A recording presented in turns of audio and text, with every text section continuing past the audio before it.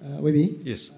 semalam bekas Perdana Menteri uh, Tun Dr. Mahathir uh, dalam sidang media dia mendakwa uh, semakin ramai uh, apa ni orang daripada bangsa Melayu membunuh diri dan membunuh ibu bapa disebabkan tekanan ekonomi dan kenaikan kos sara hidup.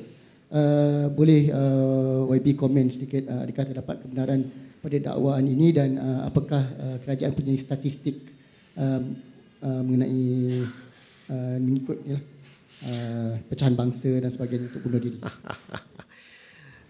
I don't know where he gets his data from. Mungkin daripada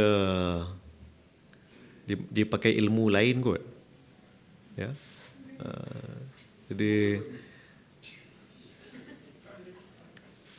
suka untuk saya jawab soalan ini secara secara factual ilmu apa yang beliau pakai tapi um, saya rasa he is an attention seeker pada waktu ini. So I'm I think it's I don't think we have to layan so much anymore.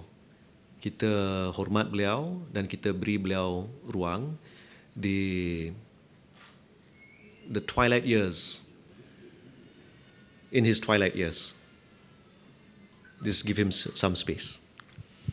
Mungkin dia di, di merasakan dirinya tertekan